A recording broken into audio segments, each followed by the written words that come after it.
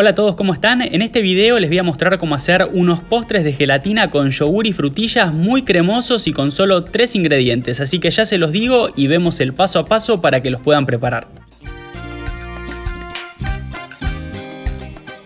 Vamos a necesitar un sobre de gelatina de frutilla de 40 gramos, puede ser de cualquier marca. Lo ponemos en un recipiente y le vamos a agregar una taza o 250 mililitros de agua bien caliente.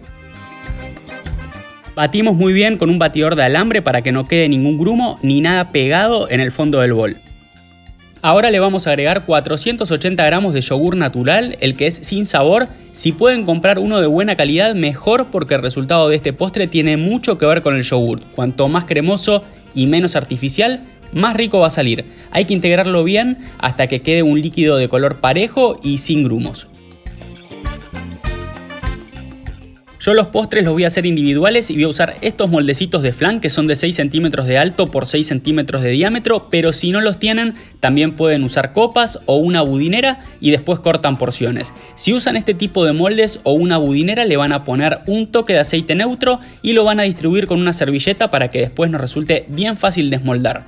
Llenamos los moldes con la gelatina, me salieron 6 unidades con estas medidas para que lo tengan de referencia y si quieren le pueden agregar unos pedacitos de frutilla que quedan buenísimos, pero es totalmente a gusto. Sin las frutillas también quedan perfectos.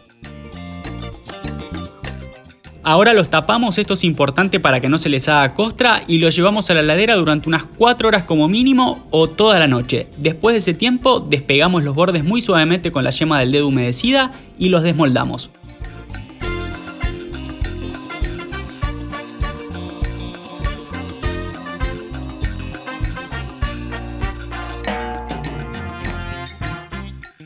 Para decorar le voy a poner una frutilla a cada uno, les estoy haciendo unos cortes a lo largo sin llegar hasta el final y después las abro tipo abanico. De esta forma los pueden presentar en una mesa de postres y van a tener algo rico y muy sencillo de preparar.